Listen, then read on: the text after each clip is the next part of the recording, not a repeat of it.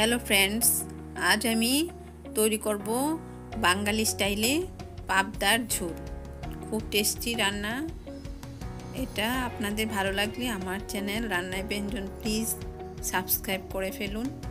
আর এটা তৈরি করার জন্য আমি কী কী আয়োজন করেছি চলুন দেখিনি পাবদা মাছ নিয়েছি, নুন আর হলুদ দিয়ে ভালো করে পাবদা মাছগুলি ধুয়েছি।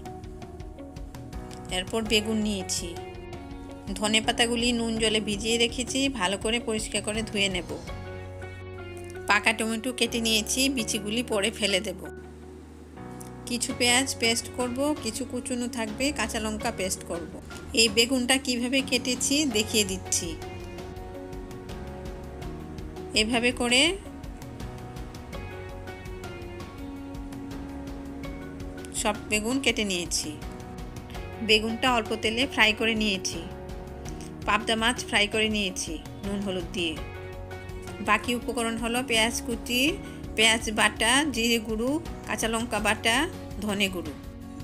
কড়াইটা গরম হয়েছে, সর্ষের তেল দিচ্ছি। তেলটা গরম হবে। তেলটা গরম হয়েছে, এখন কুচুনো পেঁয়াজটা দিয়ে দিলাম। পেঁয়াজটা ফ্রাই হবে। পেঁয়াজটা ফ্রাই হয়েছে, ফ্রাই করা বেগুনগুলি দিয়ে দিলাম।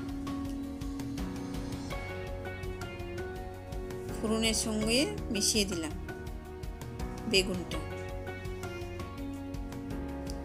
এখন পেঁয়াজ, বাটা বা পেস্ট, জিরে গুঁড়ো, ধনে গুঁড়ো, কাঁচা লঙ্কা পেস্ট বা বাটা দিয়ে দিলাম।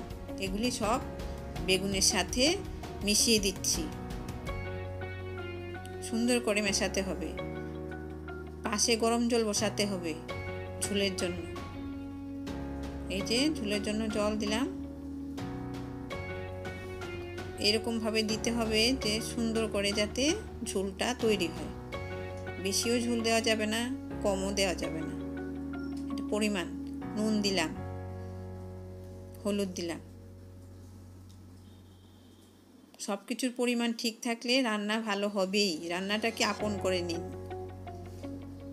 এখন ফুটে উঠেছে বিচি ফেলে দিয়ে পাকা টমেটোগুলো দিয়ে দিচ্ছি। এগুলি সেদ্ধ হবে। এরপর সুন্দর করে ফ্রাই করা পাবদা মাছগুলি একে একে দিয়ে দিলাম। ধনে পাতা পরিষ্কার করে ধুয়ে নিয়েছি, এগুলি কুচি করে দিয়ে দিচ্ছি। একটু চিনি দিচ্ছি। বেগুনের তো কোনো নির্দিষ্ট টেস্ট নেই। এর জন্য ঝাল আর মিষ্টি দিতে হয় বেগুনে। আমার রান্নাটা ভালো লাগলে আমার চ্যানেল রান্নায় ব্যঞ্জন প্লিজ সাবস্ক্রাইব করে নিন আর বেল আইকনটা অবশ্যই প্রেস করুন তাহলে নতুন রান্নার নোটিফিকেশান সবার আগে আপনাদের কাছে পৌঁছে যাবে। তৈরি হয়ে গেল খুব টেস্টি বাঙালি স্টাইলে পাবদার ঝোল। আমার রান্নাটা দেখার জন্য অসংখ্য ধন্যবাদ।